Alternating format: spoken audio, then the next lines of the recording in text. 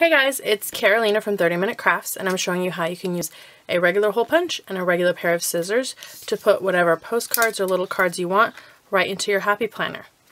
Ready? Let's get started. So as you can see, I've already done this with a couple different cards and it's fairly simple to do.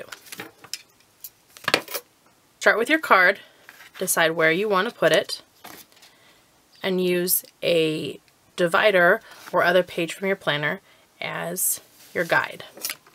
Place the divider right on the edge of your card and with a pencil or a pen just trace your little mushroom shape holes. Now with your regular hole punch we're just going to punch holes all the way across making the top curve of our hole where the top curve of our sketched hole is. Do your best to be as accurate as possible, but if you're not exactly perfect, don't worry too much. Now we have all these little lines that we need to cut out, and we'll just do that with a regular pair of scissors, cutting on either side of the line to cut out this segment